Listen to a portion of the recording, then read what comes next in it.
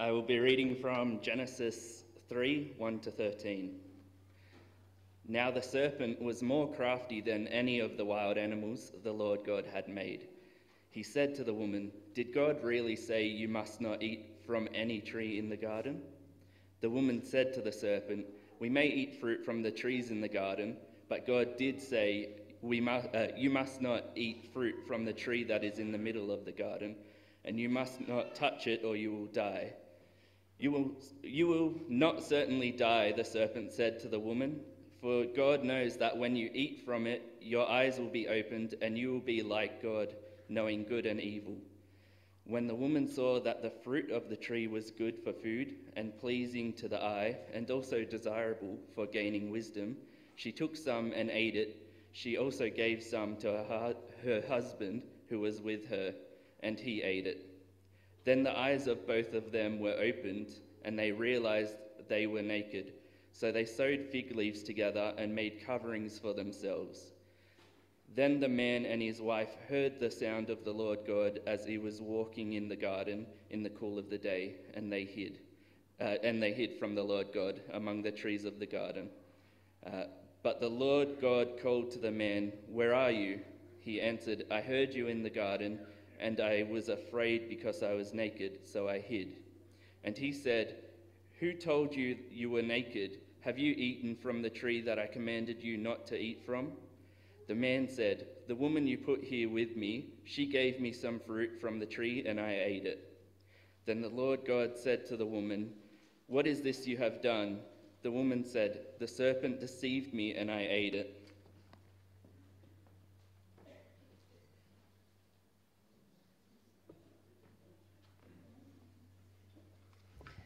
Second readings from Matthew chapter 2, verses 13 to 23. When they had gone, an angel of the Lord appeared to Joseph in a dream. Get up, he said, take the child and his mother and escape to Egypt. Stay there until I tell you, for Herod is going to search for the child to kill him. So he got up, took the child and his mother during the night, and left for Egypt, where he stayed until the death of Herod. And so was fulfilled what the Lord had said through the prophet Out of Egypt I called my son. When Herod realized that he had been outwitted by the Magi, he was furious, and he gave orders to kill all the boys in Bethlehem and its vicinity who were two years old and under, in accordance with the time that he had learned from the Magi. Then what was said through the prophet Jeremiah was fulfilled. A voice is heard in Ramah, weeping and great mourning, Rachel weeping for her children and refusing to be comforted because they are no more. After Herod died, an angel of the Lord appeared in a dream to Joseph in Egypt and said, Get up, take the child and his mother, and go to the land of Israel, for those who are trying to take the child's life are dead. So he got up, took the child and his mother, and went to the land of Israel. But when he heard that Archelaus was reigning there in Judea in place of his father Herod, he was afraid to go there.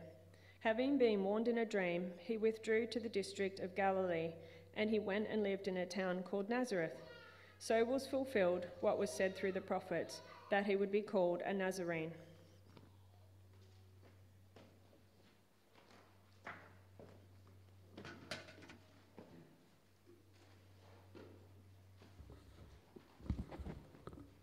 All right, good morning, everyone.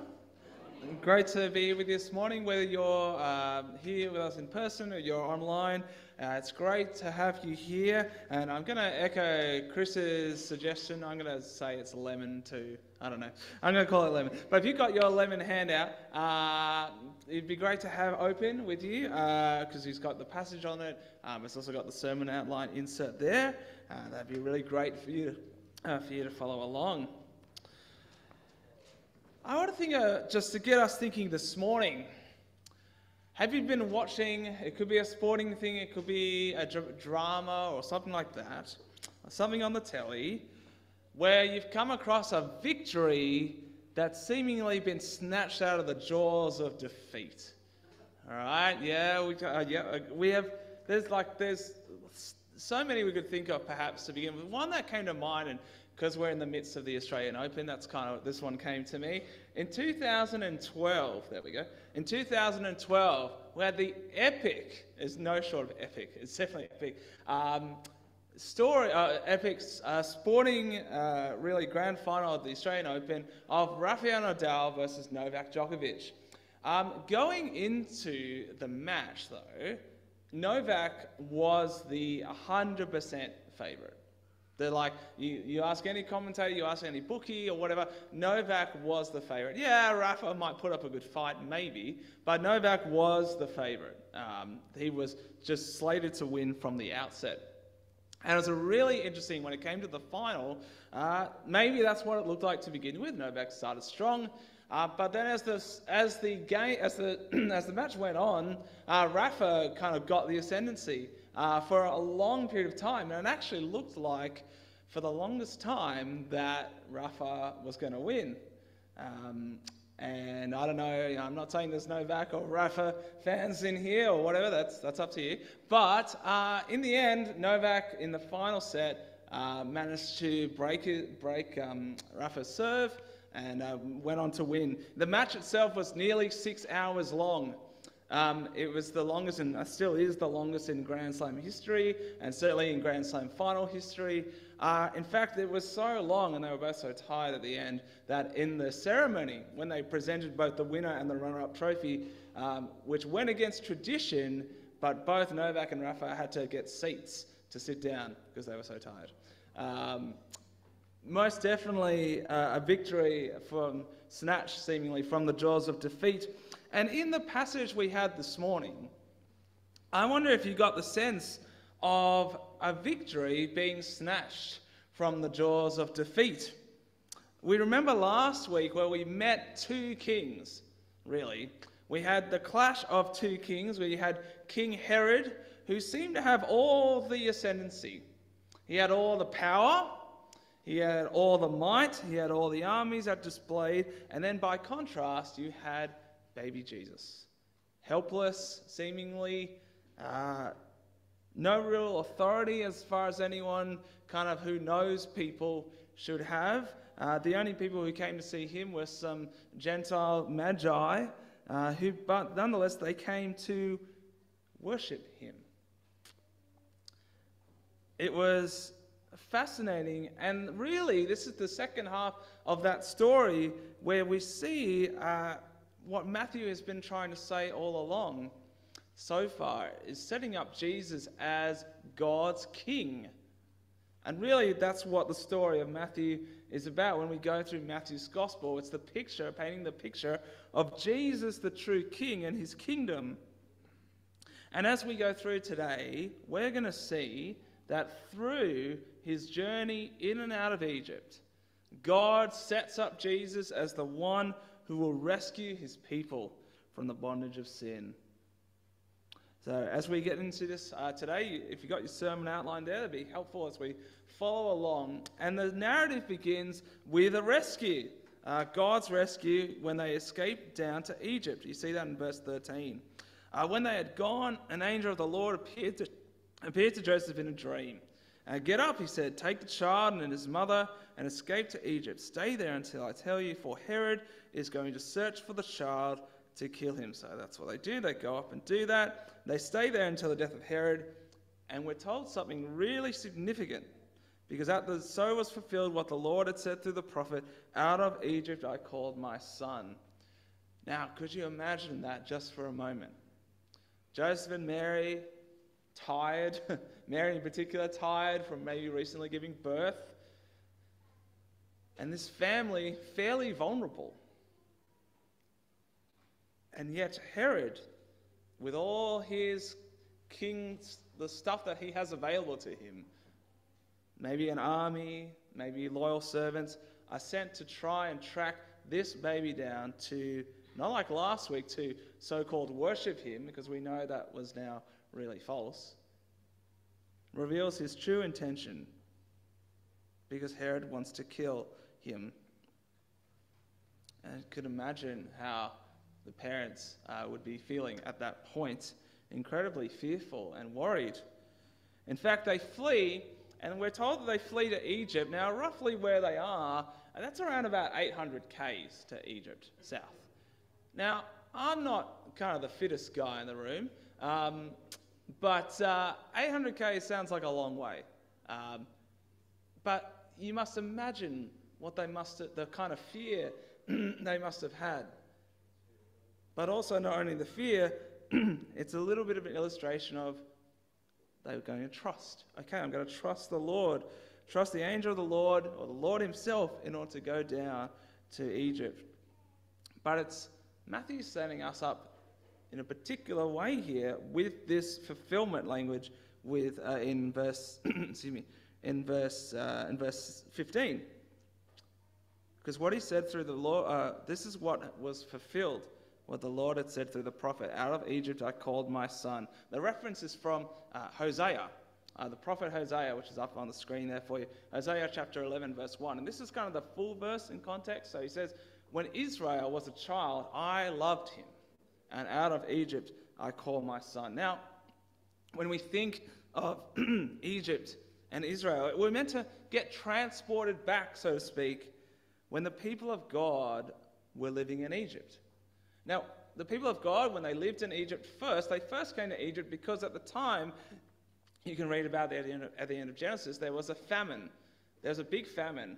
And so, all at that point of God's descendants would go to and flee to Egypt. It was a place of at least at the time, a place of rescue, a place of safety, that sort of thing. But over time, uh, Israel grows in numbers and grows in influence. You can read about that in, at the start of Exodus 1. And so the Pharaoh at the time uh, sees them as a giant threat, a huge threat to both himself and his own kingdom. And so what does he do? He enslaves them all.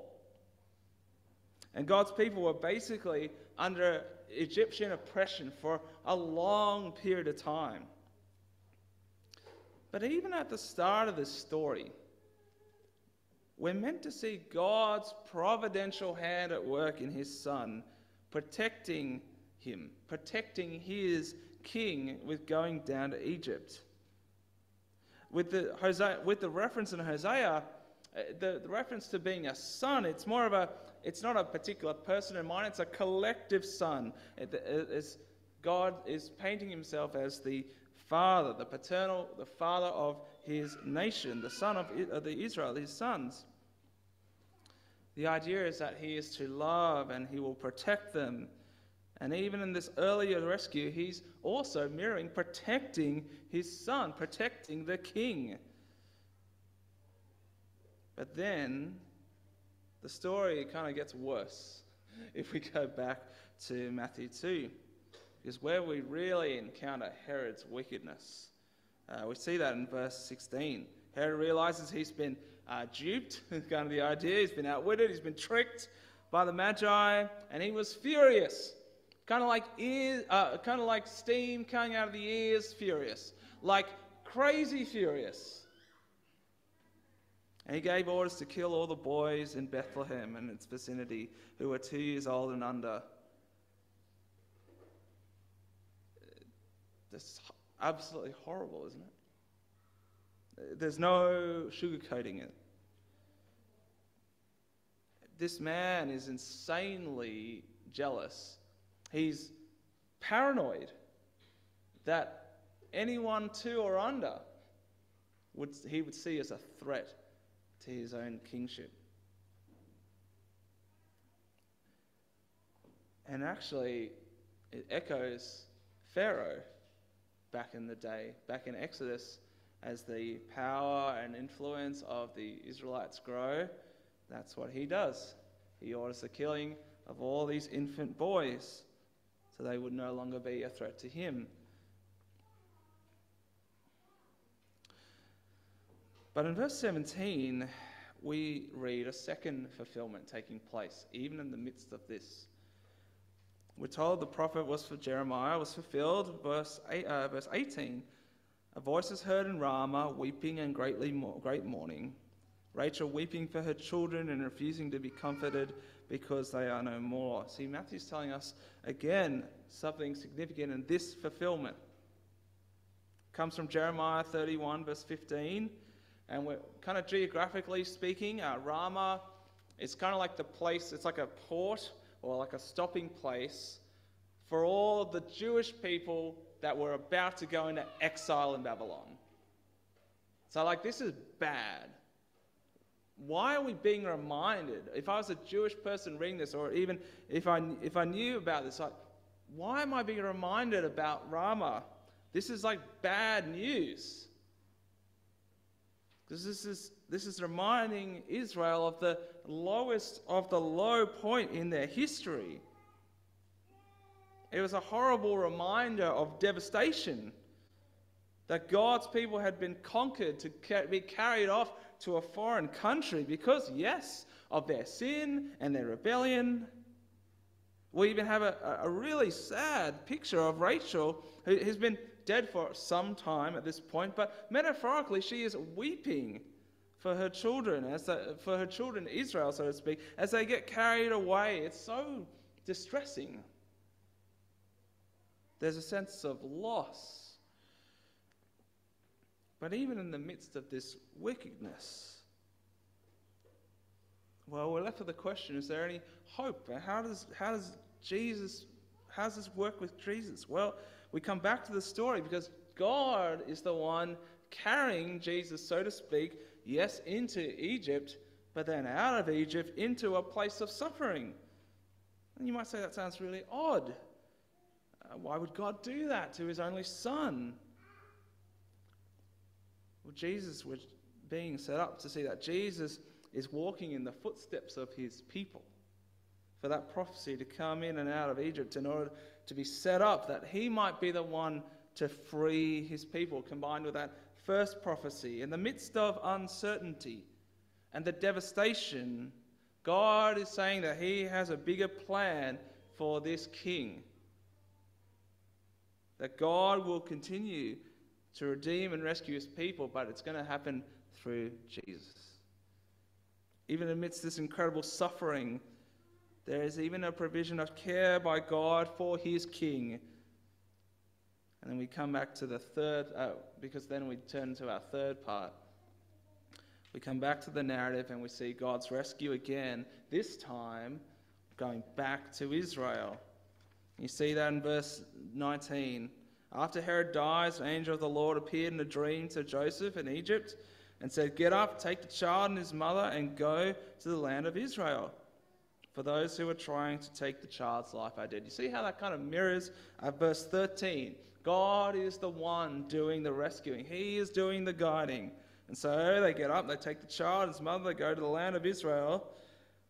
But then we see another enemy. Yes, Herod is dead, but look who's there. Archelaus. Now that's his that's Herod's son. By all kind of historical accounts, he was worse than Herod. So however bad Herod was, this guy's even worse. And so, rightly so, Joseph's afraid and they withdraw.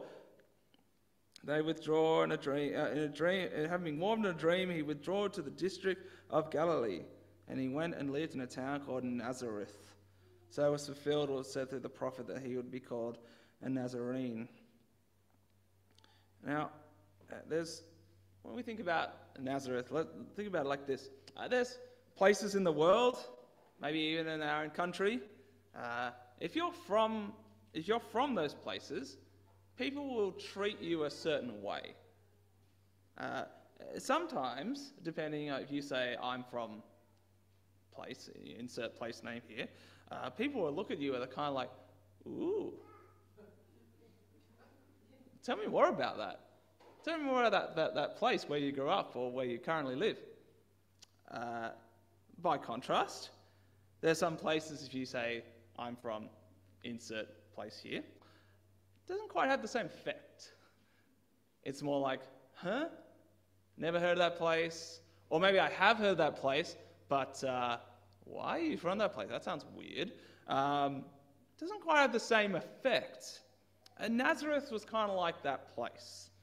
Uh, in fact, uh, in the Gospel of John, chapter 1, uh, two of Jesus' disciples tell uh, a man named Nathaniel that, hey, you know, the, you know the one that we've been looking for that the prophets say uh, he's the Son of God? Yeah, we found him. And guess what? He's from Nazareth. And uh, Nathaniel, the guy he was, they were telling, he says this in a very sarcastic way. Can anything good come out of Nazareth? It's like, What are you talking about? You could hear the disdain dripping from his lips. You see, by all outward appearances in this story, uh, God seems to be stacking the deck against his own son. Uh, he's adding trial upon trial, suffering upon suffering, heartache and rejection. You know, maybe Jesus comes out at one end out of the frying pan, but seems like the next moment he goes into the fire. But God's not doing this because he's cruel. In fact, remember that this father loves his son. The reason he does that is in the life of Jesus and the way that Jesus' life is ordered. He's ordering the affairs of his son's life that the final victory, the final victory over all things will be all the more glorious. See, God loves to work in this way. See, even Herod's wickedness, all the wickedness that he could throw,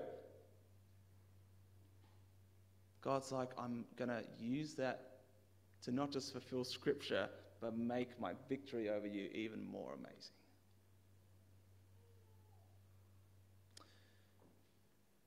So, as we close and think together, what might that be for us as we reflect at this part of the story in Matthew? There's two things I'd like us to look at, and on your, in your sermon outline on the right hand side, you've got a blank page, so that might be helpful for you uh, if you want to write some things down as we reflect together. The first is this God's victory over sin comes through suffering. God's victory over sin comes through suffering. You might think, that, that sounds kind of foreign to me, or kind of unusual. Uh, because you know, isn't God meant to be just victorious no matter what? How does this work with Jesus, with what we just read? Well, even God in this passage, God's victory over sin is uniting it through Jesus. He unites his people because Jesus' life and victory comes through suffering. Because how he's been exiled Later on, and as we go through Matthew, we will continue to see the, this is the early stage, but we'll continue to see his rejection even more. Yes, we wonder maybe is he the true king, but this is the pattern of the Messiah for us to know that God himself is setting up for us. So when we think about this now, do you think of God as the one who is victorious in spite of suffering or actually through suffering. Because, gee, that's why Jesus came. He came as a king, but he came as not for kingly things. He came to die through suffering, to rise, to give new life. But unlike God's people who suffered in exile because of their sin and their rebellion, by contrast, Jesus suffered because he died, uh, because he perfectly was the Messiah. He died as the suffering Messiah, and that gives God incredible victory over sin and death for us. It's a beautiful picture of victory. And secondly, for us, God, God will rescue us from this evil age. God will rescue us from this evil age. Uh, consistently, through the history of all humanity, God never lets evil triumph over God's will. Remember, God, we remember here, yes, brings Israel out of, out of Egypt, out of slavery, yes. He brings us, he brings his people back after both exiles. He uses other nations, yes, to punish Israel who continually sin and rebel. But in God's timing, those nations who would judge uh, who would judge and persecute Israel would be judged for what they've done. Because God is not only the God who saves, He's the God who rescues us from judgment. He rescues us not only from judgment, but from the evil of this world. Because the new kingdom that Jesus is ushering in will face all kinds of opposition. All kinds of evil will be thrown at him as we go through Matthew. We'll see that more and more. But as God's people here this morning, we align ourselves with that king, with that new kingdom, which means that suffering king. That in a world that is characterized by evil, that when we stand with the king, we will face all kinds of oppositions, just as he did. The wonderful news is that God didn't only rescue us from the bondage of sin, that He Himself will have the final victory, and we will be a part of that. It's a promise to us, to His people, down through the ages, that God is the one who ultimately delivers His people. It's not us, it's not our own doing, it is Him and Him alone.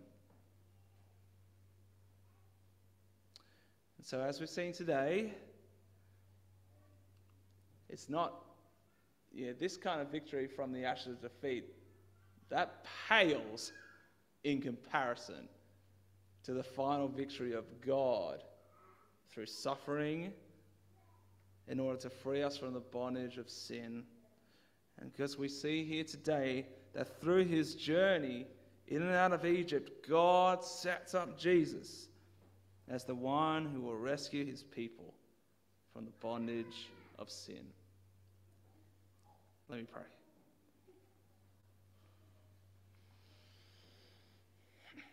Heavenly Father, I thank you for your word to us this morning.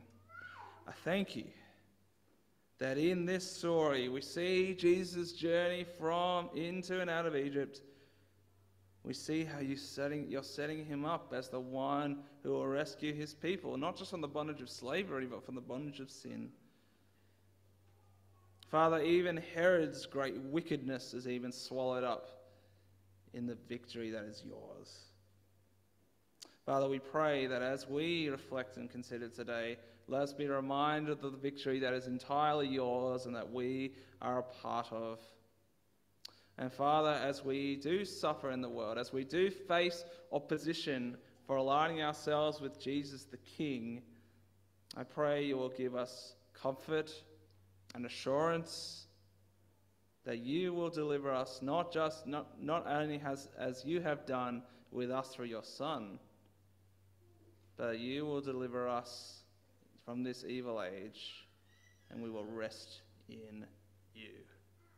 In Jesus' name we pray. Amen.